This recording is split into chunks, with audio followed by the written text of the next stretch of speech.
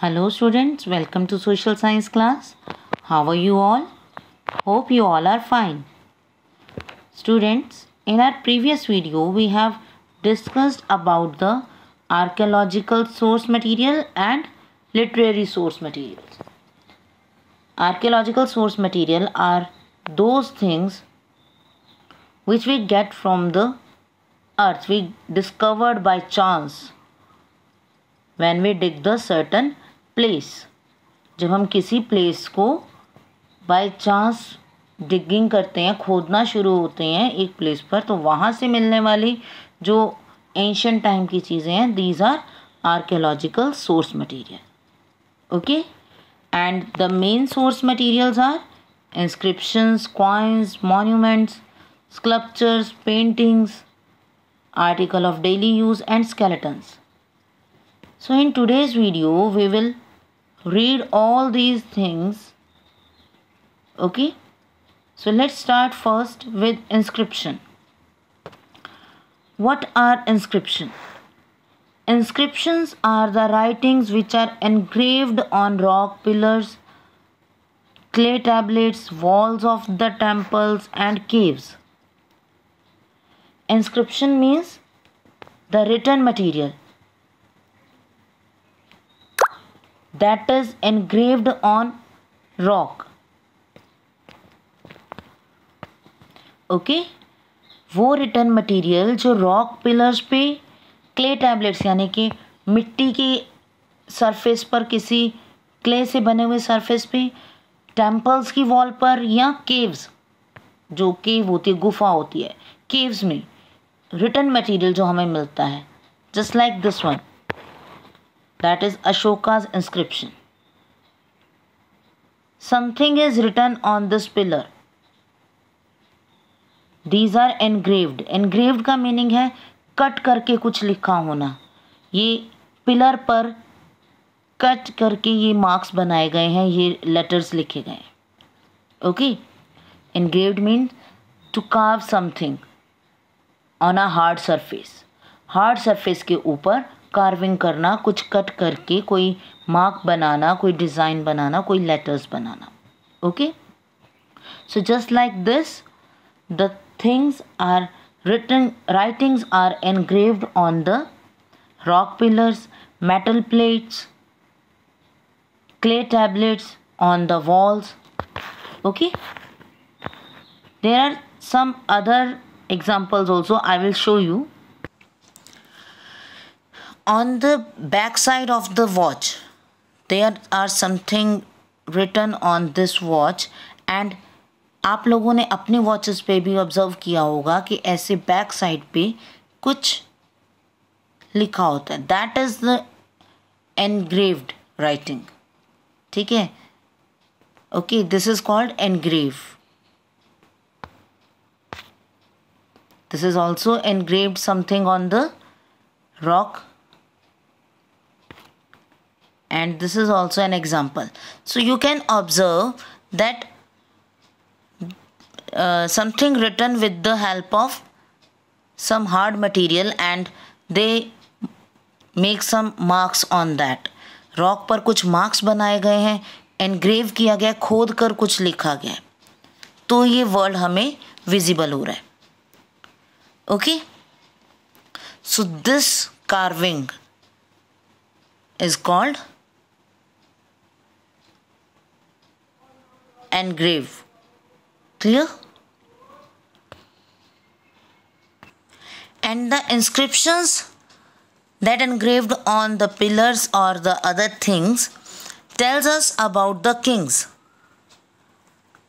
their empire their achievements as well as the society and language of that time.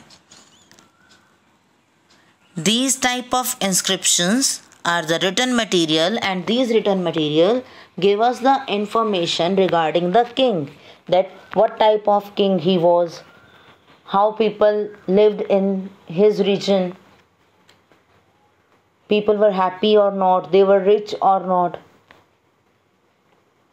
which language was used at that time all these things ठीक है each and every information we can get from these inscriptions okay so in short these inscriptions tells us about the kings their empire empire means their kingdom उनका राज्य कैसा था that is achievements उन्होंने क्या क्या achieve करा कौन सी अच्छी बातें की as well as the society and language Inscription of Ashoka's period tells us about his achievement in field of administration and the step that he took like building hospitals, wells, etc. for the welfare of the public. Now there is the inscription of Ashoka. Both are the Ashoka's inscription. It means these written work was done in the time of Ashoka's kingdom. Okay, when Ashoka was the king, these inscriptions were written at that time and these inscriptions tells us about Ashoka's character, about Ashoka's achievement that he won so many battles and he worked for the worked for the people of its region ठीक है and he built the hospitals he constructed roads all these things all his achievements okay so inscriptions were the main source to get the knowledge about the ancient time about the king of ancient time the inscription were put up in place where the common people could read them easily. Now we have written something about us, our achievement, our uh, uh, goals or our good things. So where should we kept that हम वो कहाँ पर रखेंगे? कुछ अच्छा हमने किया हमने कोई अवार्ड विन किया कुछ ग्रेट uh, अचीव किया है हम फ़र्स्ट आए हैं सेकेंड आए हैं तो क्या हम अपने अवार्ड को अपने प्राइज को छुपा कर रख देते हैं? No we put up in the place where everyone can see that है ना? हम अपना प्राइज ऐसी जगह रखते हैं कि सब उसे देख सकें, सबको पता लगे कि हम जीते हैं। So these inscriptions also put up in place where the common people could read them easily ये उन जगह पर लगाए जाते थे इंस्क्रिप्शंस पिलर्स या जो रॉक्स थे, वहाँ पर लिखा जाता था जहाँ पर कॉमन पर्सन इसे इजीली रीड कर सके and he came to know about the achievements of king. And the study of inscription is called epigraphy. What we call the study of inscription? Epigraphy. Okay? The study of inscription is called epigraphy. Underline this line. So this is about the inscription. Next is coins coins we all know that. Money. ठीक है? So the coins were made up of different material. In today's world we have the coins that are made of stainless steel. But in earlier times coins are made of different material like lead copper bronze iron silver gold and even leather. Different materials ke the they could be of uh, metals or from the leather. Leather के भी बनाए जाते थे और metals के भी metals में different metals थी lead copper bronze iron silver these are the common metals those were used to make coins and these coins also gives us the information about the art religion rulers and the use of different metals and the level of development of technology.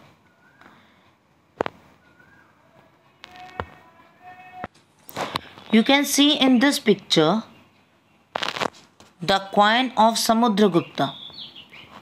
It means this coin was made in the time of Samudragupta. And the coin is made up of gold. Okay so these coins tells us about the religion about the art that were fame that was famous in the ancient time. The king followed the buddhism or the hinduism or which god. All these things we can get the information about all these things from the coins. The given picture of one such coin is of king Samudragupta अब ये जो picture है, ये समुद्र गुप्ता की है and in this way we can say के Samudragupta king था, वो कैसा किंग था, और किस टाइम पीरियड में ये क्वाइन बना। Now study of inscription is called epigraphy we have read okay so study of coins study of coins is called as numismatic coins की स्टडी करना कॉइन्स को देखकर ये पता लगाना कि वो कौन से टाइम पीरियड के थे एंड किंग्स किसको वर्शिप करते थे या आ, कौन से रिलीजन कौन सा रिलीजन फ़ेमस था आर्ट एंड आर्किटेक्चर कैसा था। ओके okay, तो ये सब चीज़ें स्टडी करना कॉइन्स के through it is called numismatic. Okay now move to the next that is monuments Monuments means old buildings. The remains of temples, stupa, palaces and forts. पुरानी buildings के जो remains हैं रिमेन्स मीन्स जो part जो बच गया है that ठीक है? और the old buildings are called monuments These ancient buildings help the historian to collect information about the social and economic life, the religious belief, dress, art forms, and architecture of that time. As these stupas shows that monks meditate in these stupas. These were the open hall. जो stupas हैं वो open hall होते थे वहाँ पर small holes थे और places थे so that air comes in that stupa air और लाइट के लिए वो थे वेंटिलेशन के लिए और लाइट के लिए. And this is very calm place and monks means जो साधु थे, वो यहाँ पर मेडिटेशन करते थे. Okay so this stupa tells us about the religious beliefs okay and the other palaces and houses tells us about the social life and economic life society के बारे में बताते थे कि रिच है, अगर अच्छे घर हैं, उनमें डेकोरेशन अच्छा है, वहाँ पर फर्नीचर अच्छा था। तो ये सब चीज़ें हमें क्या बताती हैं? About the social and economic life that people were happy and they lived a good life they were rich and the design और the way of building stupas or places tells us about the architectural and art form ठीक so monuments tells us about the social religious and economic life of the people of ancient time पुराने time में लोग किस तरह से रहते थे उनके घर कैसे थे क्या यूज़ करते थे, ये सब चीज़ें हमें मॉन्यूमेंट से पता चलती हैं। Okay now the last archaeological source is skeleton skeleton means the bones हड्डियाँ, जो हमारा इंटरनल बोन स्ट्रक्चर है दैट इज़ कॉल्ड स्केलेटन तो skeleton are also a very useful source of information the students of skeletal study try to know every minute detail about the skeletons the students those are studying about the skeletal tries to know each and everything about the person जिसकी वो skeleton है उसके बारे में ठीक है example the skeleton of women generally has broader hip और pelvic area for child bearing जो वेमेन का हिप एरिया था, जो उनके स्केलेटन जो उनकी बोन्स बताती हैं कि वो ब्रॉड होता था। So that they can carry the child okay and jewellery found on the skeleton also help in determine whether the skeleton belongs to a man और a women women mostly wear jewelleries and if we found jewelry on a skeleton we can easily uh, inform or we can easily get the